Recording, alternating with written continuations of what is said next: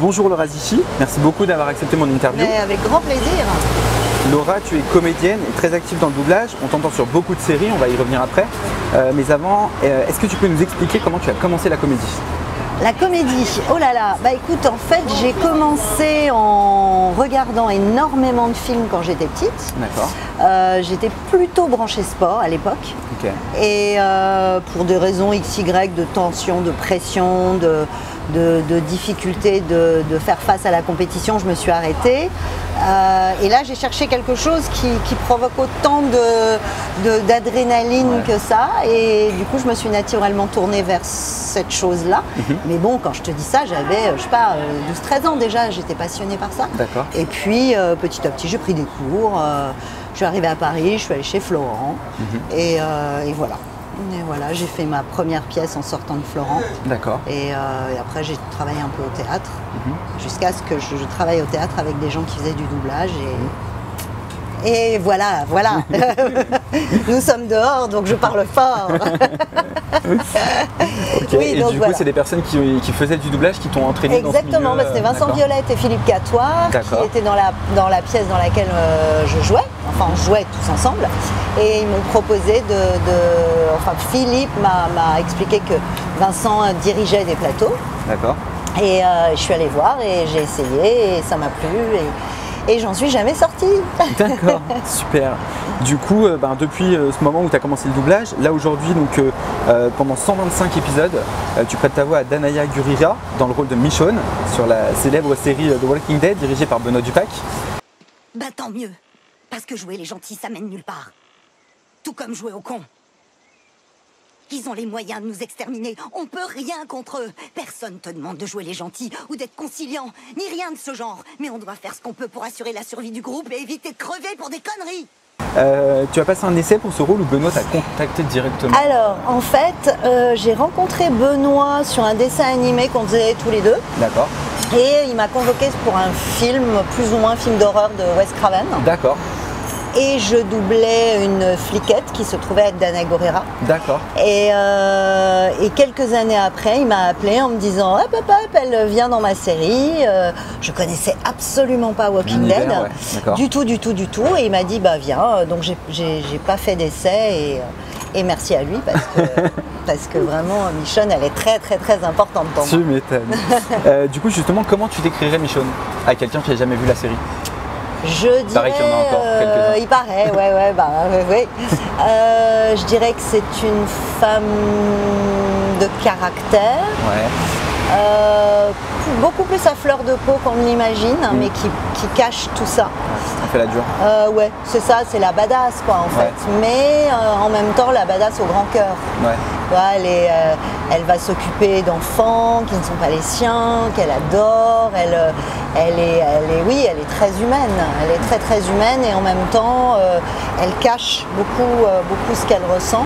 Et puis, euh, faut pas oublier qu'au début de la série, quand elle arrive, enfin à ses débuts à Mm, elle, mm. elle vient de passer plusieurs mois, voire années, je crois, Ouais. seule dans la forêt avec deux Avec zombies, en laisse. ouais. Ouais,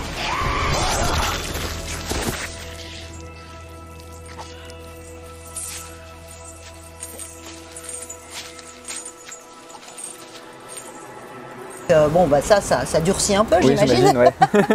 Je sais pas, j'ai pas testé, mais. Ah, vaut mieux pas, hein, pense. non. Oups, ah, pardon. C'est pas grave.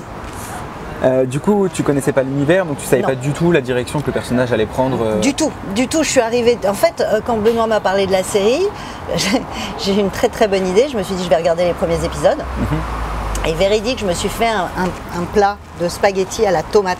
Ah oui, d'accord. Je ne savais pas. J'ai beaucoup regretté. Je ne les ai pas mangés. Et, euh, et je suis tombée dans la série euh, vraiment en tant que spectatrice Ouais. aussi, Ouais, tu ouais. vois.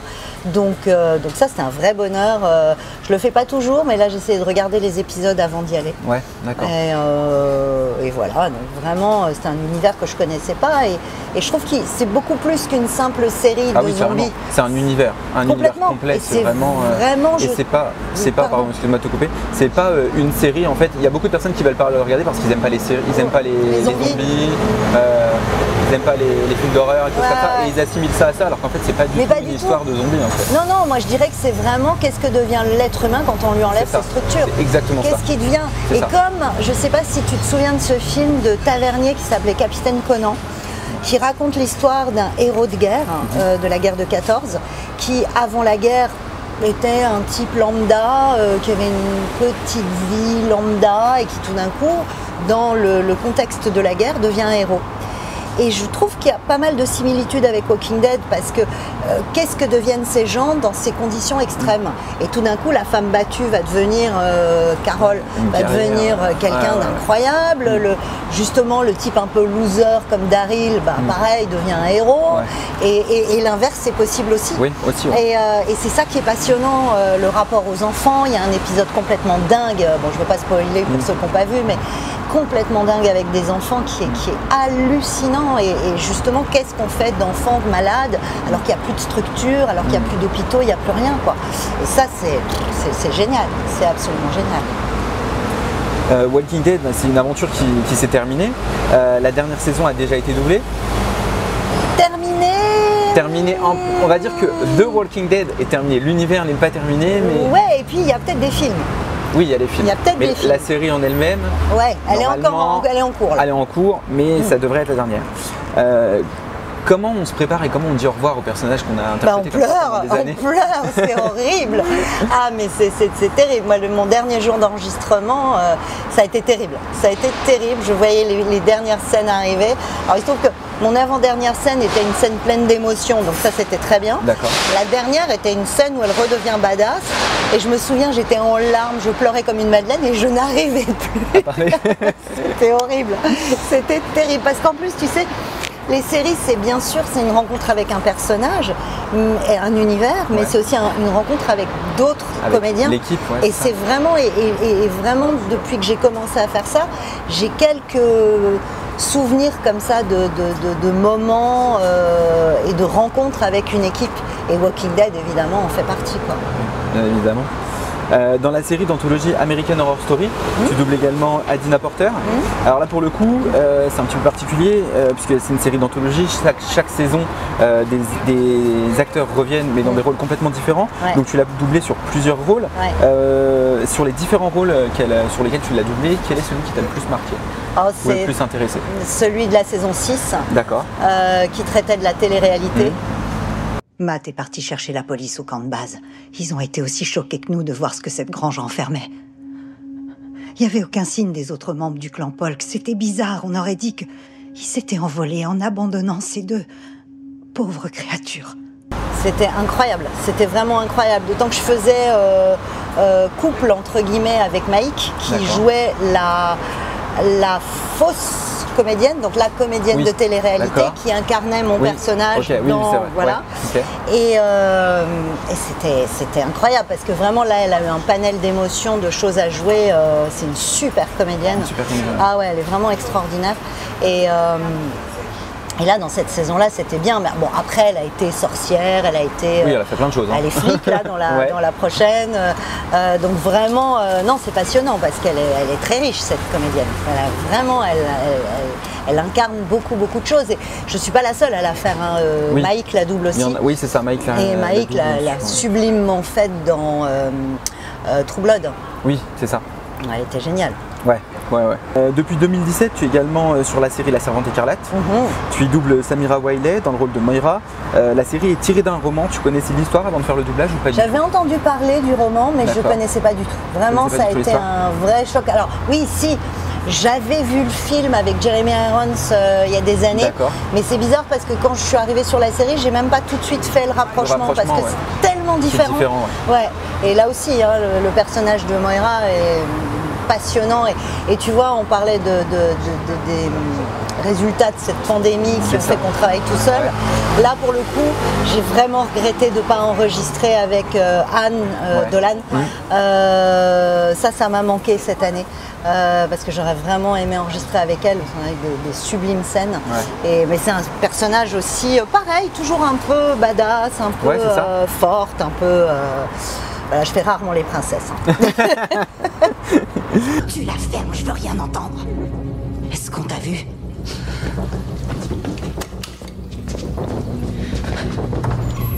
Si je t'entends respirer, je t'enfonce ça dans la gorge, c'est clair? Et tu me connais, je le ferai. Et du coup, comment tu es arrivé sur cette série? Tu l'as doublé déjà avant euh, Tu l'avais déjà doublé avant cette non, série ou pas du tout? je l'avais jamais doublé. En fait, je sais, c'est Ninou, Ninou euh, Fratellini qui a pensé à moi pour le rôle. Voilà, tout simplement. Ok. Euh, la même année, changement d'ambiance totale avec la série euh, Working Mom dans le rôle de Gisèle. Ouais. Personne n'a dit que t'avais pas le droit de faire ce que tu veux. C'était censé t'apaiser, pas te rendre ma boule. Tu veux nous accompagner au marché? Non, j'ai une visite de prévue. Bon, d'accord. Dans ce cas, je te dis bonne visite.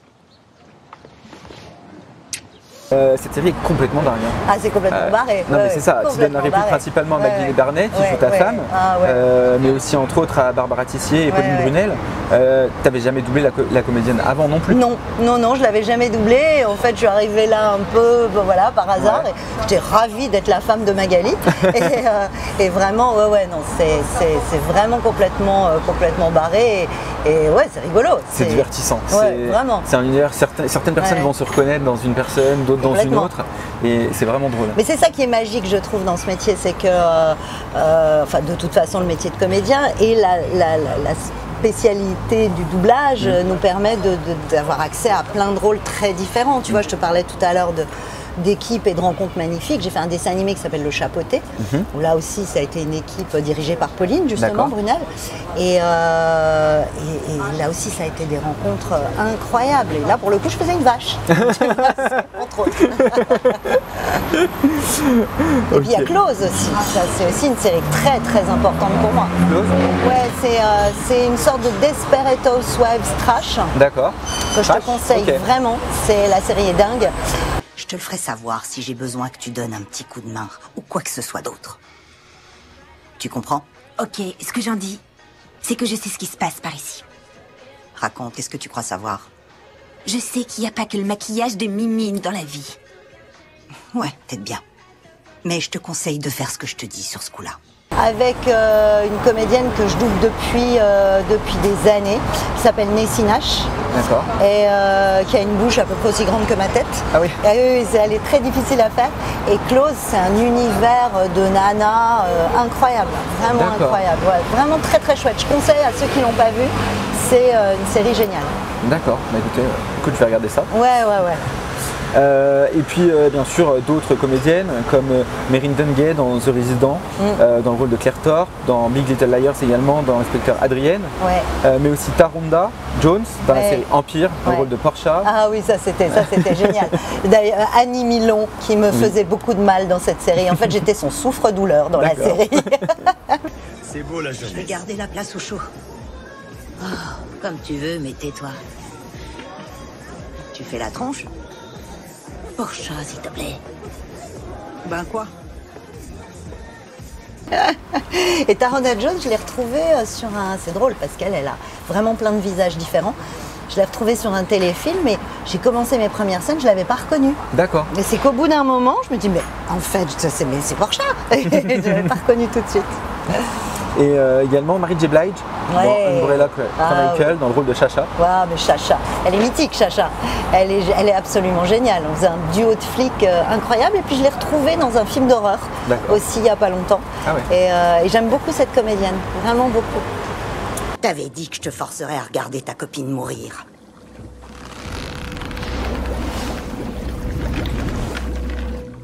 Ça suffit, Chacha.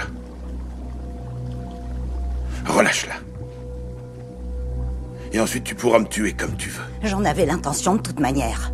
Juste après que tu l'auras regardé crever. Euh, en regardant ton parcours, je me suis également rendu compte que tu as travaillé sur une série, alors là ça date un petit peu plus, hein, sur une série espagnole, Undo Oui, Stress, Stress. en doublant le personnage de Luisa Ruiz. Oui, Euh, il y a Arantxa quelques... Valdivia. C'est ça. Si tu m'avais pas fait trébucher, il m'aurait prise aussi, Ingrid. La prochaine fois, tu danses pas aussi près de moi. J'avais tes extensions de cheveux dans la figure, alors boucle C'est pas les des filles, extensions. Il y a un casting pour un film d'Amenabar. Dépêchez-vous, les inscriptions sont presque closes. Et c'est Le où numéro de téléphone est écrit sur le tableau en liège sur une feuille bleue. Une feuille bleu ciel. Merci, merci Sonia. Il y a quelques semaines, euh, j'ai rencontré Anatole de Bodina qui doublait sur cette série Pablo Puyol dans le rôle de Pedro. Il me disait que les Espagnols étaient plus difficiles à doubler que les Américains. Est-ce que tu confirmes par rapport à leur diction, par rapport à... Oui, oui et non. Étant donné, enfin, si tu veux, pour moi, c'est familier étant donné que hum, j'ai des origines espagnoles. D'accord. Euh, donc euh, j'aurais plus ce genre de, de réflexion, par exemple, sur les films japonais, Ah oui, asiatiques, où là, pour le coup, ils ont un débit de parole qui est tellement différent d'une Ouais. autre que tu es un peu surpris. Ou danois, par exemple. Ouais. Il n'y a pas longtemps, je me suis retrouvée sur un film polonais. D'accord. Pareil, tu as, du mal à, à, à avoir les, les- les mêmes appuis que ceux que tu as par exemple en anglais, Ouais. tu as l'habitude d'avoir en anglais, ou en espagnol ou, ou en allemand par exemple. Ouais. J'avais fait une série qui s'appelait euh, Le dessin de Lisa, qui était une série allemande où là pareil, tu tu t'accrochais euh, bon, à ce que tu peux, mais, euh, mais ça va. L'espagnol, Mhm. Ça ça, va. va. Ils ont juste un débit très rapide. Ouais, c'est ça, c'est un débit hyper rapide. Euh, pour finir, dernière question, parmi tous tes doublages, lequel t'a le plus marqué ou lequel t'a le plus fait kiffer en tant que comédienne? Il y en a plusieurs. Il y en a plusieurs. Il y a, il y a une comédienne que tu n'as pas citée, que j'adore, qui s'appelle Regina King, D'accord. que j'ai doublée dans Watchmen. Qui êtes-vous? Je suis l'homme qui a pendu le chef de la police à un arbre. Non, c'est faux. C'est vrai. Putain, vous avez 90 ans, arrêtez de vous foutre de la gueule du monde. D'abord, j'ai 105 ans et ensuite, vous jurez beaucoup trop. C'est pas vous qui l'avez tué. Si, et je l'ai même tué tout seul. Comment qui est une série, euh, c'est un bijou. C'est juste un bijou. C'est c'est une merveille de la première minute à la dernière minute. Donc là, c'est un vrai kiff d'arriver dans quelque chose d'aussi ma- magnifique et Ouais. magique. Walking Dead, évidemment. ça, ça, ça- le chapeauté qui a été très important. En fait, il y a plein de séries qui ont jalonné euh, mon parcours et Ouais. qui ont, Qui m'ont ont permis d'évoluer. Ouais. Il y a aussi une comédienne que j'aime beaucoup, euh, qui est une petite rousse, qui s'appelle Jennifer Ferrin D'accord. euh, que j'ai fait dans pas mal de séries et elle, j'aime beaucoup la retrouver. Notamment dans Blacklist où elle jouait une très très méchante sur une saison et ça j'ai bien kiffé aussi. Mais en fait, je t'avouerais que je kiffe tout le temps. Tout. Ouais, Ouais, à chaque fois, tout le monde a du mal à trouver Ouais, le, le rôle. Vraiment Walking Dead, Watchmen, euh, je dirais que ça, ça fait partie des choses et le chapeauté aussi, euh, vraiment des, choses importantes pour le produit, pour les comédiens et pour l'équipe. Je pense que vraiment là pour le coup, euh, tout va ensemble. Euh, merci beaucoup euh, Laura Mais de pour le temps que tu m'as accordé et d'avoir répondu à mes questions.